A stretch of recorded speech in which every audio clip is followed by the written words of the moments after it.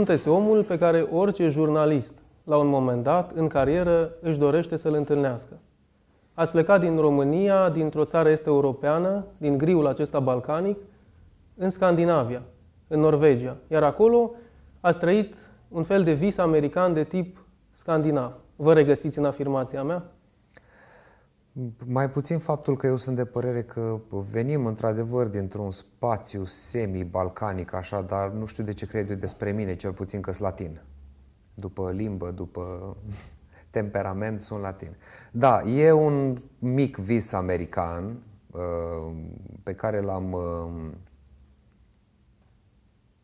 întâlnit, că e mai bine să spun l-am întâlnit în Norvegia, am plecat într-adevăr din griul uh, acestei zone, aș spune doar un uh, gri cultural, cel puțin la acea perioadă de timp. De ce zic asta? Pentru că, deși eram în, uh, la un moment dat eram în plină ascensiune economică, se investea puțin în, în partea de cultură. Adică erau investiții foarte mari în imobiliare, în petrol, în energie, dar iar în partea de cultură se investea puțin și lucrurile, din nefericire, atunci mergeau în, uh, uh, într-o inerție de asta, ca un bulgăre de zăpadă, numai că panta nu era foarte abruptă și creșteau în, foarte greu. Eu nu am putut să accept uh, o astfel de situație pentru că erau deja câțiva ani în care eu nu trăiam din muzică, așa cum mi-am propus când eram mic se vede, fără prea mult efort, că sunteți efectiv mistuit de muzica pe care o compuneți și o interpretați. De unde vine această chemare spre muzică? Din familie, din copilărie? Cum era familia dumneavoastră, orașul în care ați crescut? Ah, ar trebui să intrăm puțin în uh, niște detalii de ordin, uh, nu știu, ezoteric, astrologic, uh, religios. Uh, chemarea spre muzică e un lucru cu care te naști, nu depinde de tine și nu depinde de familia ta sub nicio formă.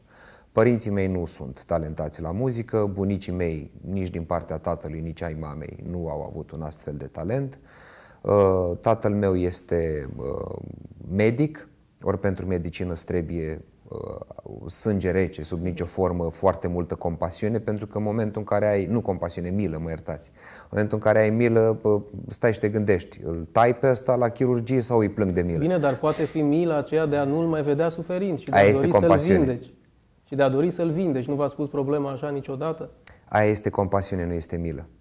Uh, uh, milă este atunci când hrănești un sărac cu pește. Compasiune este atunci când îi cumperi barca, undița și îl înveți să pescuiască sau în cazul doctorilor în momentul în care îl salvezi.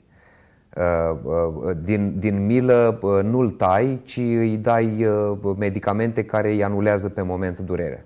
Dacă ar fi să punem acești doi termeni în medicină, cam așa s-ar traduce. Prima dată când ați pus mâinile pe pian? Prima dată am pus mâinile pe un pian la vârsta de șapte ani.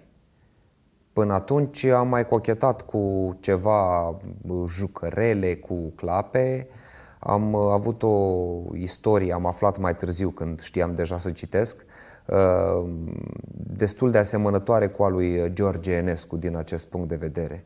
El primise o vioară de jucărie cadou de la tatăl său pe care a aruncat-o în uh, șemineu, în sobă, în cămin, în ce... Pentru că nu l-a satisfăcut, de fapt. Pentru că nu l-a satisfăcut. Era o vioară de jucărie foarte mică și în loc de corzi avea ață, ațe.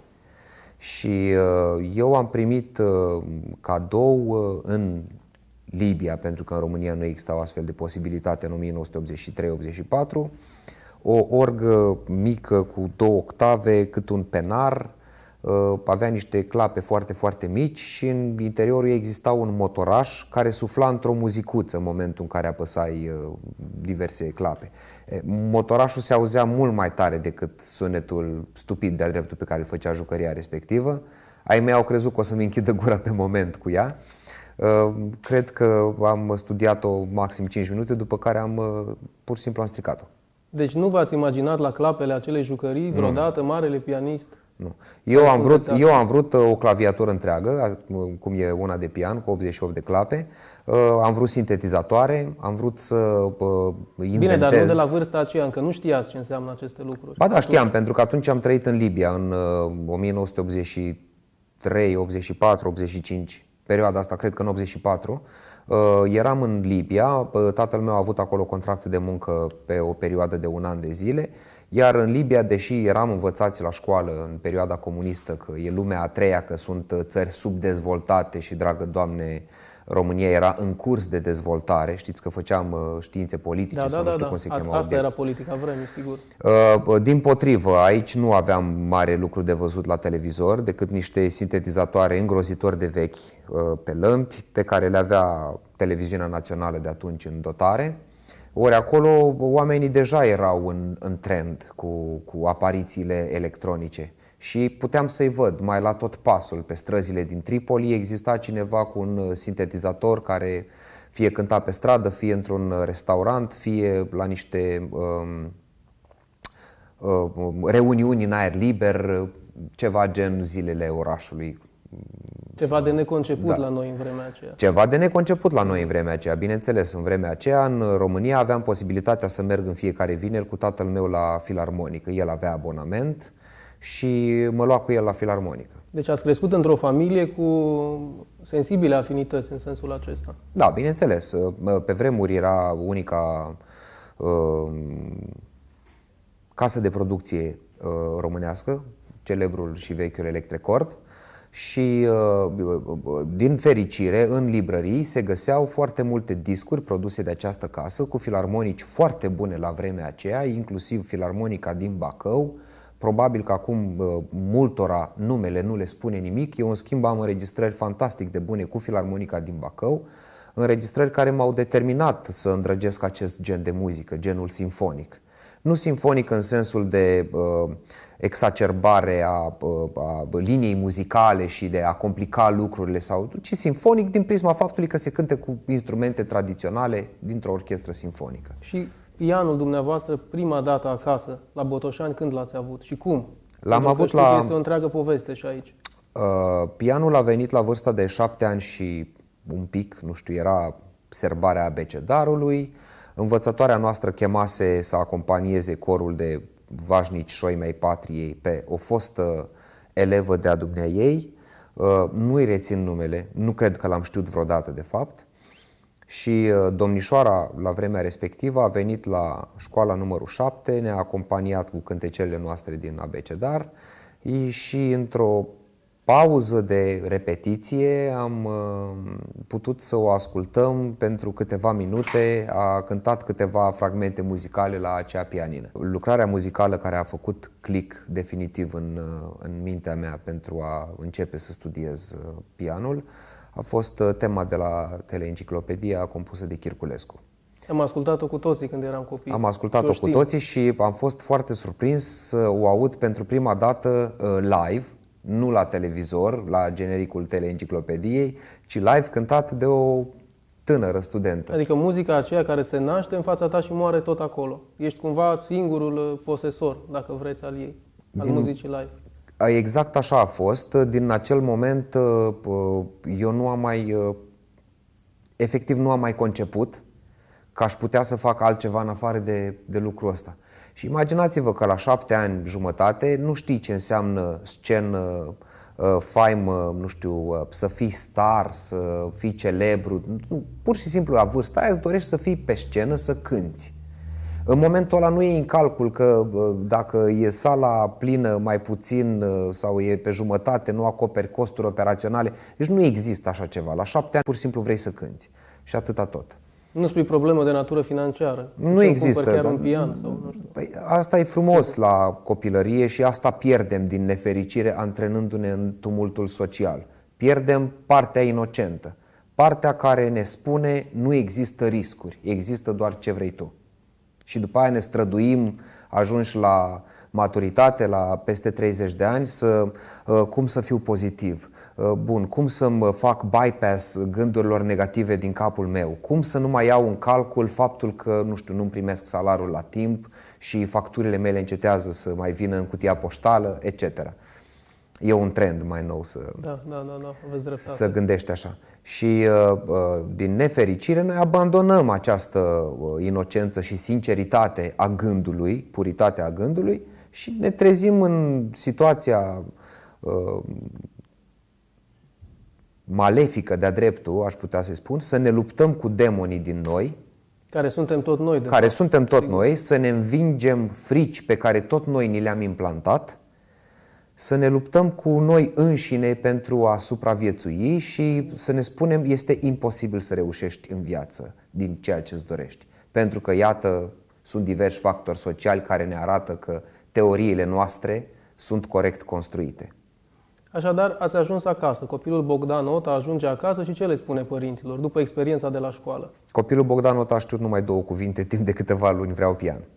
Și atunci am văzut că la sora mea, de exemplu, care era, este mai mică decât mine cu 2 ani, uh, am văzut că funcționa uh, chestia cu plânsul, trântitul cu fundul de pereți. Un fel de șantaj. Exact, șantajul emoțional. Și am încercat aceeași variantă, la mine n-a ținut, sincer.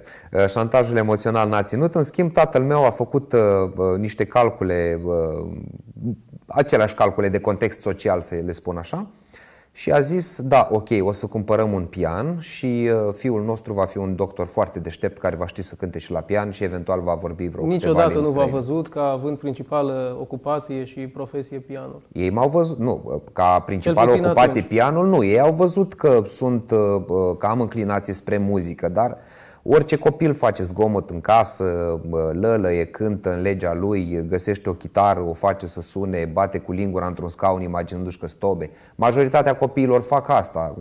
Eu am rămas să fac asta și mai târziu. Din fericire. Din fericire, da. Și v-a luat pian.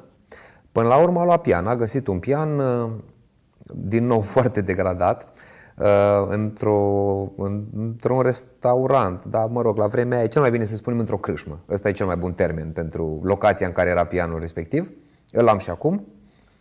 Un pian foarte vechi. În momentul în care a intrat în casă a fost desfăcut bucăți, deci nu am apucat să văd uh, domnule câte clape are, hai să le ating să le număr. Și bă, claviatura era într-o sacoșă, bă, mecanismul uh, învelit în niște saci transportat și ăla, capace, tot ce se putea demonta de pe el a plecat spre restaurare către niște oameni care se pricepeau la așa ceva. Să-l revopsească, relăcuiască, să-l usuce, știți cum e, cu pilă la fabrica de mobilă, cum, a, cum se descurca toată lumea. Îl mai păstrați acel pian și astăzi? Îl am și acum în uh, casa mea din Bacău. Nu mai cânt la el, dar uh, este, mi este greu să renunț la el. Vă leagă sentimental de el multe lucruri. Exact. În primul rând, uh, este locul în care, uh, în fața pianului, uh, am, m-am dezvoltat așa cum sunt acum. De fapt, deci, putem spune despre dumneavoastră că sunteți produsul pianului. Da, da. Pianul sub nicio formă nu este produsul meu, eu sunt produsul acelui pian, pentru că la pianul ăla am visat uh, din totdeauna, de când eram mic, uh, în momentul în care nu eram satisfăcut de timbrul pianului, uh, dacă voiam, imaginam că sună a trompetă, a vioară, a ce doriți dumneavoastră și cântam și din picioare, pentru că mic fiind, vedeam la, la televizor că cei care cântă la sintetizator era mai cool să stea în picioare și atunci făceam și eu același lucru. Acum nu mai pot. La șapte ani, opt, nouă, aveam înălțimea potrivită pentru așa ceva. Acum, bineînțeles că trebuie să mă plec ca să fac acest lucru. Ehm, și eh, pentru mine pianul eh, acela a reprezentat eh, cheia de la toate ușile din viața mea. Toate s-au deschis datorită acelui instrument, de aceea mi este greu să-l vând. Nu știu dacă mai rezistă unui transport la sute de kilometri, nu risc să-l iau de acolo. Plus că acel pian asociați cu el și imaginea tatălui și a părinților, a copilăriei, cumva... Da, inclusiv imaginea casetofonului rusesc, marca Electronica, nu știu de care era, de stătea pe pian și am învățat uh, foarte mult să cânt după ureche. Am fost uh, o, o, o bună perioadă de timp, uh, am fost autodidact. Pentru că profesorul, profesoara de pian pe care am avut-o în Botoșani nu, nu a fost potrivită pentru mine, este cel mai bun De ce termen. spuneți asta? Uh, era o domnișoară trecută ca și vârstă, în accepțiunea socială. Era trecută de mult de vârsta căsătoriei, să spunem așa. Deci era o domnișoară bătrână. O domnișoară bătrână, exact. Dumnea ei avea niște frustrări personale, îndrăznesc să spun asta, pentru că altfel nu uh, pot să înțeleg cum se manifesta bătutul elevilor De dimineață până seara era hobby-ul ei numărul unu și nu o făcea cu mine, o făcea cu toată lumea. Eu eram cel care se răzvrătea, bineînțeles. Pentru că din când în când mă mai ciufulea și tata acasă și nu mai, adică bun, vin la ora de pian să o iau de la capăt cu povestea de acasă. Și atunci dumnea ei văzând că uh, eu nu mă adaptez regulilor impuse, uh, a renunțat la mine cu un scurt telefon către tatăl meu, nu este bun de muzică, nu este talentat, nu-l mai doresc la mine în casă. Pa, închis V-a telefonul. pus ștampila. Da, mi-a pus ștampila, la care eu am spus, uh, ok, nu am nimic împotrivă, pentru mine era o mare ușurare, pentru că pentru orice copil, ora de pian, ora de citire, ora de ce vreți noastră de mai puțin, poate cea de educație fizică, este o corvoadă, da? Stai o oră la pian, cânti game, nu e nimic plăcut în a-ți antrena degetele. Am învățat uh, să cânt singur la pian după ureche. Bineînțeles, într-un mod greșit, vă dați seama că nu știam note muzicale, aveam o vagă cultură generală despre așa ceva, tehnica de a apăsa clapele era totalmente greșită, digitații, etc. 3-4 uh, ani mai târziu, uh, tatăl meu m-a mutat la insistențele mele, mă rog, intermediar între mine și tata a fost mama întotdeauna. Știți cum e mama... Ea v-a ținut partea. De da, ea, ea ține partea. Pentru tatăl meu eticheta era clar, bun, deci dacă profesoara a renunțat la el, nu e bun de muzică. Și uh, până la urmă m-au mutat la școala de muzică, fosta școală numărul 6 din Botoșani, care în gimnaziu avea și profilul muzical, iar uh, în anii următori era pe profil liceu de muzică. Și acolo am început să studiez pianul cu profesori uh, pregătiți. Dedicați și ați văzut că se poate și altfel. Da, am văzut că se poate și altfel, bineînțeles. Am mai făcut ceva uh, cursuri cu uh, Profesoara mea din liceu pe atunci preda la școala populară de artă, în, în momentul în care eu eram în clasa a 5-a, 6 și practic dumnea ei mi-a explicat, Munteanu Silvia se numește, dumnea ei mi-a explicat ce înseamnă muzica din toate punctele de vedere și ce înseamnă pianul. Îmi amintesc că făcusem o sonatină de Liviu Comes. Um, este muzică modernă românească. În cazul în care căutăm o melodie, o linie melodică facilă, nu prea găsim în astfel de lucrări muzicale. În schimb, Dumnezeu mi-a explicat ce anume să extrag din fiecare fragment. Era uh, suficient de ilustrativă muzica să o pot folosi la vârsta mea de atunci ca pe un soundtrack la imaginația mea. În momentul în care era un, uh, un uh, moment mai uh, fantezist, diafan cumva în, în discursul muzical, atunci uh, îmi explica, uite, acum îți imaginezi, este un pitic care deschide o ușă într-un castel și are o lumânare în mână și după ce dă colțul, umbra dispare și, surpriză, găsește o comoară, etc. De în... fapt, v-a lăsat să gândiți. M-a lăsat să gândesc și să înțeleg la ce ajută muzica. Pentru că foarte mulți uh, pedagogi din ziua de astăzi omit uh, un aspect important. Copiii cântă la pian, îi dresezi frumos, ca pe un cățel, ca pe un animăluț să facă ce vrea profesorul respectiv, dar el nu știe despre ce e vorba în lucrare. Și dacă nu știe despre ce e vorba în lucrare, încearcă să-și imagineze el tot felul de povești. Și din această cauză aș putea spune că sub acest motiv, educația muzicală, cel puțin cea pe care am prins-o eu, era superficială. Nu mai știu acum cum stau lucrurile, dar uh, imaginați-vă că în perioada în care m-am dezvoltat eu ca tânăr adolescent, s-au dezvoltat și alte, alte persoane nu, care, care nu făceau muzică. În schimb, știau cu toții de Beethoven, de Kleiderman, de Mozart, că, mă rog, auziseră ei pe la televizor sau la școală sau la orele de muzică, cineva mai povestea despre aceste personalități. Uh, după care uh, rămânem stupefiați să găsim uh, tot felul de oameni care ascultă Adagio de Albinioni, fiind uh, scris în stilul unui marș funebru și să spună, vai ce lucrare de dragoste fantastică, m-am iubit cu soția grav, toată noaptea cu acest fundal sonor. Păi, asta e din cauza unei educații muzicale precare. Profesorul trebuie să explice această lucrare muzicală este marș funebru. Prietene, pe marș funebru nu dansezi. Sunteți un romantic? V-ați identificat? Da, sunt un romantic, bineînțeles că sunt un romantic. În primul rând, sunt un romantic ca și, ca și structură psihologică, eu nu sunt foarte adaptat prezentului decât din punct de vedere al tehnologiei pe care o folosesc. În momentul în care ești compozitor în perioada în care a trăit Mozart, scrii o partitură și îți imaginezi cum ar suna partea viorii, partea pe care trebuie să o cânte violoncelul sau cornul francez sau etc. Uh, apoi, a doua zi, după ce ți-ai terminat acea partitură, te duci la o orchestră privată, mică de altfel, o închiriezi și îi pui să cânte.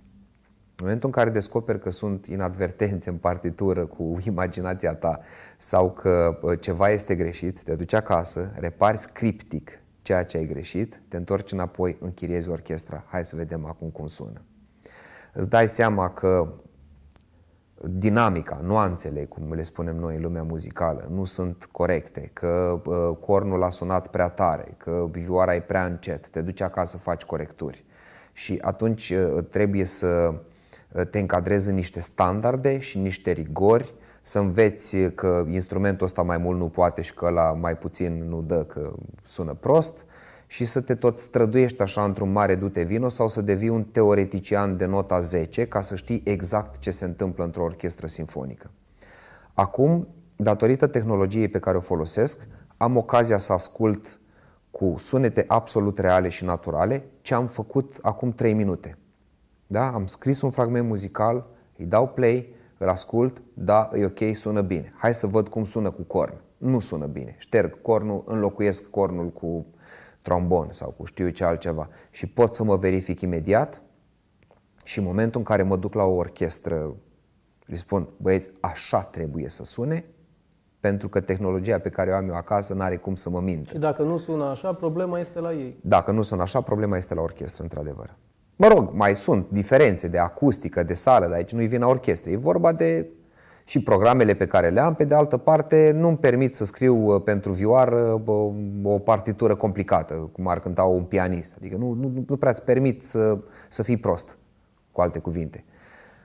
Și uh, de aceea eu sunt, uh, din acest punct de vedere, sunt norocos că trăiesc în secolul 21 și mă pot bucura de această tehnologie. Ați fost în uh, timpul școlii, uh, Universitatea de Arte din Iași, ați fost uh, un student emerit, ați fost printre primii? Am intrat printre primii la facultate, am avut note mari la obiectele care îmi plăceau și note deosebit de mici la obiectele care nu îmi plăceau. Sub nicio formă. Am fost, din punctul meu de vedere, dacă ar fi să mă judec academic asemeni foștilor mei profesori. Deci dacă eu m-aș pune în locul unui fost profesor al meu, aș spune că Bogdan Ota a fost un mediocru în perioada facultății. Uh, nu am excelat uh, în nimic decât în ceea ce am vrut eu să excelez. Atâta tot. După cum am spus, uh, nu am fost un personaj care să se supună regulilor și rigorilor didactice. Nu am făcut nimic dacă nu mi s-a explicat de ce trebuie să fac acel, acel lucru și la ce îmi va ajuta vreodată în viață. Uh, de exemplu, ne se spunea, domnule, trebuie să înveți forme muzicale. Dacă nu știi forme muzicale, uh, înseamnă că ești incult. Bun, de ce trebuie să știu forme muzicale? Și îți dădea un răspuns de ăsta, pentru că trebuie. Pentru că fără forme muzicale tu nu vei putea compune sonate sau liduri sau partite sau nu știu ce, concert sau sinfonie sau... Bun, acum haideți să vă explic eu cum stau lucrurile în realitate, cu riscul că după vizionarea acestei emisiuni câțiva foști sau actuali academici mă vor răstigni. Lucrurile în realitate stau așa. Compozitorii au dat naștere formei muzicale. Da? S-au trezit în perioada clasicismului, de exemplu, Mozart și cu Salieri și cu cei din tagma lor, să compună într-un anume gen, care era la modă în acea perioadă. Acel anume gen muzical presupunea o introducere de atâtea măsuri, ă, o expunere a temei de atâtea măsuri, o îmbunătățire a temei de atâtea măsuri și un final așa. E un exemplu banal care îl dau pentru, pe, pe înțelesul telespectatorilor. Ulterior s-a născut muzicologia. Muzicologia a strâns o tagmă de academicieni, muzicologi, foarte deștepți, care oamenii ăștia au luat toate aceste partituri și le-au studiat. A, găsim lucruri comune la Mozart, la Salieri și la cine mai era atunci, la Beethoven, poftim. Uh, aceste lucrări muzicale pe o durată de 15 minute alcătuite din trei părți, uh, pentru că seamănă și la unul și la altul uh, și au fost denumite sonate, le vom spune ghici cum sonate. Și atunci noi vom despica firul în 16 și vom spune că sonata are o introducere de atâtea măsuri, o temă care se mai repetă în repriză, etc. Tot felul de termeni între ăștia, care eu personal, eu Bogdan Ota, vorbesc doar în numele meu în această emisiune, i-am considerat totalmente inutili. Nu vi se pare că sunt și puțin elitiști, inutili, până la urmă? Pentru, pentru marea uh, majoritate a celor care iubesc și vor să guste muzica. O să, o să vă explic cum stă treaba cu elitismul ăsta. Din, punct de vedere, din punctul meu de vedere, există două categorii de elitiști. Există uh, uh, muzicienii de elită, cei care fabrică muzica, și există muzicologii de elită, cei care judecă ce au fabricat alții. Din punctul meu de vedere, această a doua categorie nu există și nu ar trebui să existe, dar vorbesc doar din punctul meu de vedere. Pentru că eu degeaba am 10 critici elitiști care spun Bogdan Ota este genial, este talentatul lui pește prăjit, dacă eu nu reușesc să strâng 10 oameni într-o sală, sau dacă am reușit să-i strâng, îi plictisesc în primele 5 minute. Și poate că știți ce este da. acea o formă muzicală, de exemplu. Uh, în mare știu despre ce este că... vorba într-o formă muzicală. Uh, notele la uh, mele la capitolul forme muzicale erau uh, ușor peste nota de trecere. Deci dacă nu aveam 5, aveam 6 sau 7. Și chiar dacă ați fi avut nota 10 la această materie, dacă nu strângeți acei oameni în sală, e inutil, așa spune. Pe, bineînțeles, aici este esența artistului. George Enescu, cu care noi ne mândrim, a fost un compozitor genial care a compus pentru oameni. În timpul războiului știm cu toții poveștile, își lua vioara și cânta în spitale pentru răniți. Și haideți să nu uh, uh, exagerăm când spunem că soldații, cel puțin din acea perioadă, erau recrutați cu forța din sate.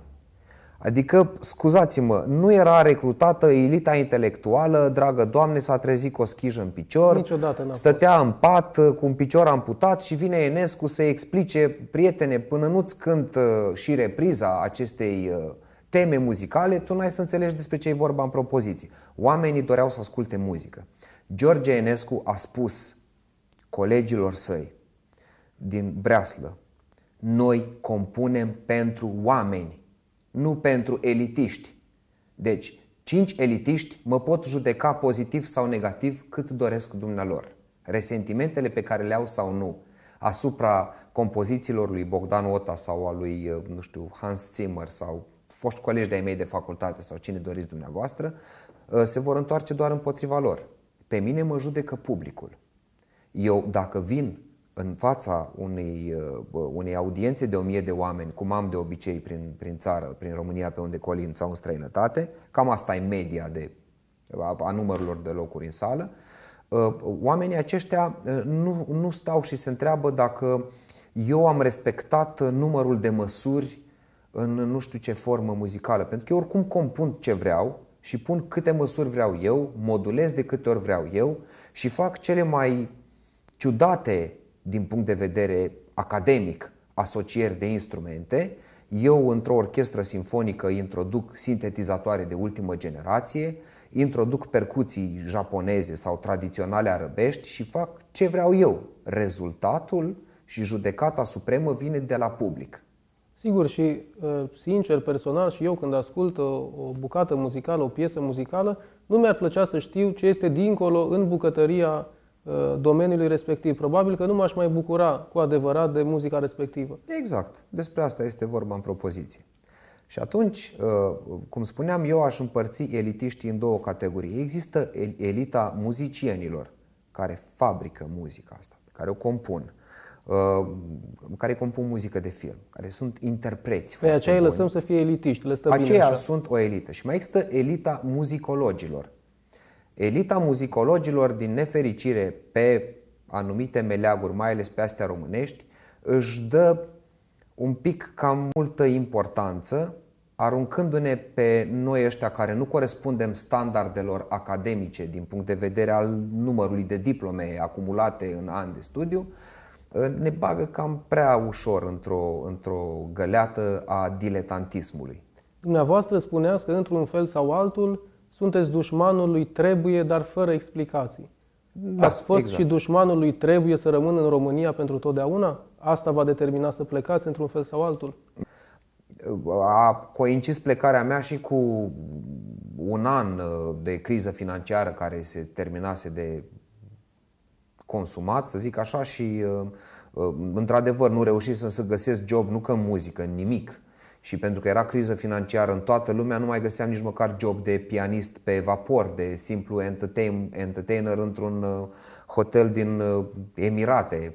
Pentru că veniseră rușii sau bulgarii care făceau niște oferte de bătaie de joc și cântau trei oameni pe 500 de euro, adică orice numai să nu stea acasă la ei de rău de bine, nu știu, arabul mă cazează, îmi dă o masă caldă, mai câștig 150 de euro, hai că merg așa. Nu am acceptat. Mizau pe disperarea dumneavoastră, de fapt. Ceva hoteluri din uh, zona Emiratelor Arabe Unite uh, au făcut concurs în 2010 și vor lua pe cel care vine pe cei mai puțini bani. Deci era o licitație care, care dă mai puțin, cumva. Uh, și uh, vă dați seama că nu am vrut să particip la astfel de licitații. Cei care se ocupau de găsirea contractelor în astfel de locații mi-au spus despre asta este vorba, care e minimul pentru care pleci din țară. Disperat fiind, puteai să spui 50 de euro, da, merg pe banii ăștia. Dar am preferat să mai stau și atunci am început uh, un proiect muzical de rock sinfonic în România, cu ce rezerve financiare am mai avut și am re a prins în mine uh, dorința și flacăra de a face în această țară ceva, pentru că am crezut întotdeauna în meritocrație. Ori acest concept în România e, e frumos de utilizat la televizor, dă bine în presă, așa, când auzi uh, politicieni care spun, da, domnule, vom pune la Ministerul Finanțelor pe Xulescu. Pe pentru cel că, mai competent. Da, pentru că noi credem în meritocrație, chiar dacă el e paznic la oi sau nu știu ce Dumnezeu. E frumos să o folosim în talk show-uri. În realitate, meritocrația în România nu există. Ați descoperit-o în Scandinavia? Meritocrația am descoperit-o în Scandinavia, bineînțeles. Scandinavii, în schimb, nu cred în, uh, în uh, eroi. În schimb, cred în oameni care insistă, muncesc și reușesc. Ei apreciază acest lucru. Cum i-ați simțit? Se spune că sunt firi reci acești oameni nordici. Așa este, sunt firi reci. Faptul că eu am reușit într-o țară în care uh, acești oameni sunt distanți, mai ales față de cei veniți din estul Europei, România și Bulgaria. Noi chiar aveam uh, ghișeu separat la, la oficiul forțelor de muncă. Românii și Bulgaria aveau ghișeu separat. Puteai găsi pe pereți uh, tot felul de LCD-uri cu informațiile pentru emigranți afișate în engleză, în arabă, în poloneză, în germană iar pentru România și Bulgaria nu era niciun LCD decât era o săgeată. Pentru emigranții din România-Bulgaria mergeți la ghișeul, nu știu, 11, cât o fi fost acolo. Și acolo o doamnă cu mari probleme de personalitate și foarte frustrată, țipa la tine și indiferent ce dosare și hârtie aduceai și acte în perfectă regulă, găsea un nod în papură să nu te angajeze sau să nu-ți dea vize de lucru. De ce v-ați dus acolo, de fapt? Inițial. De ce m-am în Norvegia? Inițial. În Norvegia am plecat în urma unor uh, uh, interviuri pe care eu le-am uh, uh, câștigat, să zic așa, online, pentru a fi profesor de muzică la școala internațională din Tromsø. În momentul în care am mers în Norvegia cu aparatură după mine, cu haine și cu ultimii bani care îi mai aveam în... Câți în... bani mai aveați atunci? Cred că, nu știu, câteva sute, dar oricum nu mi-ajungeau cât să mă întorc în, în România înapoi, nu mi-ajungeau de carburant. Și în momentul în care am mers acolo, am rămas și fără post. Postul l-au dat unui vicar. Vicar în Norvegia însemnând persoana care a ocupat temporar un post. Norvegian, era unul de-al lor, de fapt. Un, da, un norvegian de-al lor. Domnule ăsta a mai stat temporar pe postul acesta și am decis să-i dăm lui definitiv uh, postul, indiferent că am făcut anunț pe internet și s-a făcut un concurs. Adică nu, chestii de astea mici neplăceri de astea nu există doar în România, există peste tot. Și bă, ulterior, trăind acolo un an și 8 luni am trăit în Norvegia, am înțeles că erau cumva îndreptățiți să facă acest lucru, pentru că ajunseseră săracii să fie absolut uh, sufocați de emigranți. Emigranți care nu veniseră în Norvegia să muncească. Asta e partea interesantă. Cel puțin uh, foarte mulți din țările uh, lumii a treia veneau acolo pentru că Norvegia acorda azil politic foarte repede, în special pentru cei din Pakistan, și azil politic însemna acolo că tu, stând acasă și făcând copii, iei bani. Iar dacă descoperi că ai putea divorța de soțul tău, tu ca pakistaneză ce ești, uh, atunci iei mai mulți bani pentru că ești femeie divorțată. Și atunci ei divorțau în acte, dar trăiau în aceeași casă. Ea lua bani de divorțată cu copii, el își lua în continuare salarul, un mic ajutor că e singur și nu mai are sprijinul familiei și atunci erau niște sume foarte, foarte mari de bani. Deci iată că orice sistem, oricât de bun ar fi, are scăpările lui. Da. Sistemul socialist are scăpările lui, ori Norvegia marșează pe un astfel de sistem, un sistem socialist. Ei au la putere Arbeitspartid, Partidul Muncitoresc, da? Ori ăsta e un partid de, nu știu, cum e PSD-ul la noi, cum e un partid comunist uh, îmbrăcat uh, cu hăinuțe de democrație, așa, da. Diferă doar culoarea pălăriei. Cu ce v-ați ocupat în timpul acesta? În de la Norvegia? momentul în care ați ajuns și ați constatat că, de fapt, lucrurile nu stau așa cum sperați să stea și până la celebrul concurs. Uh, după ce am constatat că lucrurile nu au stat cum am sperat, uh, m-am luat după niște prieteni români și am făcut uh, o școală de motostivuitorist și am și acum un act cu categoriile T1, T2, T4, adică am permisiunea să ridic până la 10 tone cu motostivuitorul. Sunt calificat în acest domeniu, am făcut un curs de o lună. Între timp, am scris CV-uri, deși vorba unor clasici în viață, m-am săturat să scriu CV-uri, dar totuși mâna scrie. Am mințit în toate CV-urile cu putință că bun de paznic, de portar, de mecanic auto, de femeie de servicii, de nu știu, de ce vreți dumneavoastră să vă imaginați ca job. Uh, am numărat la un moment dat e mail că trebuia să mai golesc din, din, din, din inbox uh, și am văzut că trimisesem peste 200 de astfel de CV-uri în interval de o lună. Nu s-a întâmplat nimic plăcut. Uh, o lună de zile în Norvegia fără să deții o viză, da? pentru că nu e o țară europeană, îți trebuie viză, te obligă la suite mașină și stai înapoi acasă, că altfel stai ilegal pe teritoriul nostru. Și uh, a intervenit miracolul pe care, bineînțeles, noi creștinii credem în miracole, numai că nu vrem să le vedem atunci când ele se întâmplă. Le considerăm că sunt prea mici. Noi încă așteptăm scântei și uh, efecte speciale din filmele de la Hollywood. Um, zâne cu baghete magice sau știu eu. Și a intervenit miracolul că a sunat telefonul românului ce mă ținea în gaz de la el, uh, l-a contactat cel ce urma să fie șeful meu pentru un uh, dirty job. Dirty job în română înseamnă o, o muncă murdară și era murdară fizic. E cumva muncă. un fel de muncă la care scandinavul nu se pretează, nu îi lasă pe imigranți să o facă. Este o muncă la care nici măcar românul nu se pretează. Deci noi am fost plătiți în, uh, ca într-un interval de 48 de ore să eliberăm uh, o curte de uh, crengile ce au fost curățate de pe niște copaci, dar nu în orice condiții, ploua torențial de 3 luni și... vine greu să cred că aceste mâini fine de pianist da, au putut să ridice crengi și da, uh, da. tot felul de Erau de crengi, crenguțe, acesta. care erau mai grele, le ridicam în doi oameni, trebuiau umplute, am umplut două camioane de șapte tone jumate în doi oameni. Camionul avea 7 tone jumate capacitate și a trebuit să eliberăm. După care, dacă toți sunteți acolo, am impresia că a murit ceva în canalizare pentru că miroase urât și uh, ni s-au înfundat wc și trebuie să coborăm în canalizare să scoatem nu știu ce pisică sau animal mort era acolo. Așadar ați învățat lecția umilinței acolo. Da, aia a fost prima, fără de care n-aș fi ajuns aici astăzi să fac interviu cu noastră. Pentru că întotdeauna uh, uh, frustrarea din noi și uh, ego-ul care se înconjoară cu tot felul de straturi ne spune că mai jos de atâta nu poți coborâ. Mai jos de atâta nu mai este unde. Am ajuns la fundul sacului. Asta e limita de jos. Doamne, de ce mă pedepsești? Și ne adresăm unui personaj depictat frumos pe capela Sixtină, crezând că un bătrân cu barbă albă din cer, altă treabă n-are decât să-l pedepsească pe Ota.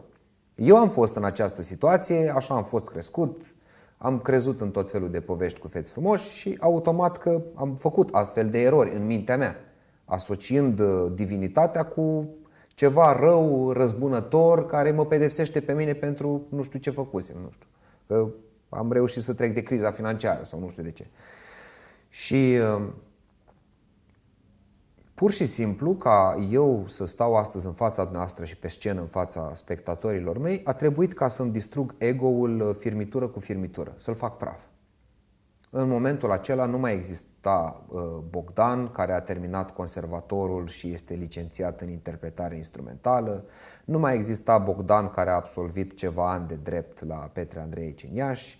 Nu mai exista Bogdan, care a crescut cu o bibliotecă în casă și era dus de mama și tata cu mașina la pregătire la Iași la, pentru conservator. Nu, în momentul ăla era uh, uh, doar uh, un... Uh, CNP, un număr de identificare în Norvegia, semăna puțin cu CNP-ul românesc, un nume, Ota Bogdan, care însoțea acel număr și o persoană care trebuia să facă rost de bani să muncească și aveam două variante. Uh, uh, mi-accept soarta și încerc să o îmbunătățesc sau mă pun uh, pe o bancă în parc sau pe o bordură și încep să-mi plâng de milă. Am ales-o pe prima. Deși aia cu plânsul de milă recunosc că am făcut-o în, în foarte multe... Cu toții ne plângem de milă la un moment dat sau altul în viață.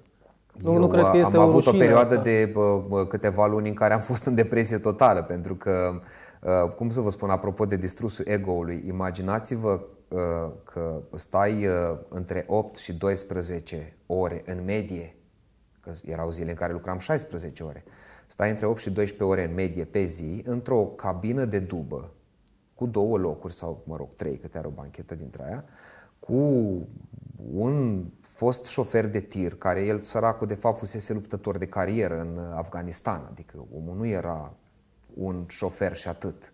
Turarne, fostul meu șef și prieten, a fost militar de carieră în A-Team, în uh, echipa A, Alpha, cea care merge Forțe în față. de elită. În forța de elită, exact. Era uh, specializat în uh, teatre de luptă live. Eu nu știa chestiile astea teoretic în urma unui stagiu militar, cum le-am știt noi în România dacă am face așa ceva. Și uh, omul, uh, omului nu i-a rămas altă variantă decât să facă acest job în Norvegia, pentru că uh, era un job pe care nu voia să-l facă nimeni. Cât credeți noastră că dintr-o țară cu o populație totală de 5 milioane de locuitori, din care 1.100.000 sunt emigranți, doresc să ridice cea mai ușoară imprimantă de 116 kg pe scări? Adică nu, nu-i visul nimănui în viață. Eu m-am născut să car imprimante, deci nu mai pot de drag până nu car o imprimantă, nu sunt realizat în viața asta, n-am liniște interioară. E un job care trebuie să-l faci. Și ca să nu iei razna, îți găsești o altă preocupare acasă. Ori ai grijă de familie, ori ai un hobby. Acest om strângea atât de multă frustrare săracul în el, încât uh, odată la două săptămâni mergea în uh, teatre de luptă private și se jucau nu cu muniție de război, cu gloanțe de cauciuc. Erau mai mulți foști militari ieșiți în, din serviciu și se jucau cu gloanțe Asta de cauciuc. era supapa lui, de fapt. Era refularea lui, pentru că la ce strângeam noi acolo câte energie negativă și nu aveai cum să nu o strângi, înnebuneai în cel mai scurt timp sau te îmbolnăveai de o boală totalmente incurabilă, care e la modă mai nou în toată lumea. Uh, de ce spun asta? Repet, doi oameni într-o cabină de camion, de, de dubă, da? Acești oameni uh, uh, uh, fumează o țigară. Acești oameni mănâncă de la fast food. Mănâncă din benzinării, că nu ai când efectiv să, să, să stai la masă, pentru că sună telefonul în continuu. Dacă nu mi-aduci imprimanta până la ora 2, eu închid birou. Norvegianul uh, este uh, omul care are drepturi și nu are obligații. Și el are dreptul ca la ora 2 fără 10 să închidă biroul, că așa vrea el. Și atunci ghiciți cine este de vină. Cel care căra imprimanta și a ajuns la 25. Trebuia probabil să ne cățărăm cu camionul peste mașinile parcate la semafor în trafic și să-i batem pe toți ca noi să servim acea doamnă care a vrut să plece cu 10 minute mai devreme plângerile ajungeau la sediu și cu cât acumulam mai multe plângeri, cu atât aveam din ce în ce mai puține joburi, automat bani pentru noi mai puțin de trăit sau deloc, pierdeam uh, contractul respectiv. Și atunci trebuia să stăm într-un stres continuu. Faptul că stăteam în această cabină uh, uh, ne făcea să duhnim, nu să mirosim. Să eram împuțiți de-a dreptul. Ăsta este cel mai corect cuvânt pe care îl pot folosi. imaginați-vă acum că intri într-un birou a unor oameni de afaceri care vând iahturi foarte scumpe, de la un milion de euro în sus. Și tu miroși în ultimul hal și uh, uh, miroși și ești plin de praf. Încercați să vă, să vă imaginați fața unui om care se abține să nu-i miroși prea tare, că îi strici aerul. Da? Deci este uh, un moment în care ăla se strâmbă și ceva de genul, da, ok, hai, printează și plecați de aici. Chiar dacă nu miroși fizic, noi nu miroseam, vă imaginați că miroseam a transpirație sau a canalizare. Da? Nu, cum am spus, ești într-o după, e iarnă, e umezeală, ești un muncitor necalificat la urmă urmii, un hamal, nu? Recunosc că am fumat, recunosc că am mâncat din benzinării. Păi stați neastră în fast food-urile noastre, stați la food court jumătate de ore și vedeți când ieșiți de acolo la ce mirosiți. Ei, imaginează chestia asta în fiecare zi acum. Nu poți să iei hainele de lucru, salopeta din materiale de astea textile groase să le speli în fiecare zi, că ești zdrențăros într-o lună. Nu? Și atunci automat se impregnează niște mirosuri în tine. Plus, ești transpirat, se lipește părul de față. Seara când ajungi acasă după 14-15 ore de hâit imprimantă, ultima ta grijă, credeți-mă, este să stai în oglindă să vezi dacă îți stă bine părul și dacă ești bărbierit și cam ce prestanță am eu în fața unuia care oricum nu-i pasă de existența mea. Pentru el, cum v-am spus, sunt un CNP pe o listă. Și uh, cu astfel de joburi, uh, ego-ul tău este desfăcut practic bucăți și rămâne esența din om. De la acea esență începi să te reinventezi, să te reconstruiești. Și, cum v-am spus, există două tendințe. Sar pe geam, după ce îmi plâng de milă câteva luni bune, sau pun mâna și fac ceva, dacă nu-mi place situația în care sunt. Și încep să vorbești cu Dumnezeu, din ce în ce mai mult, încep să-ți dai seama că apar mici uh, coincidențe, între ghilimele, în viața ta și prin asta Dumnezeu îți arată că există și că Dumnezeu se raliază dorințelor tale secrete în primă fază și că poți folosi chestia asta și că de fapt nu ai venit aici nici să suferi, nici să tragi, nici să speli nu știu ce carme, nici să împingi nu știu ce munți. Nu, ai venit aici să fii fericit. Ăsta este singurul lucru pe care îl înțelegi după ce ești cu adevărat nefericit.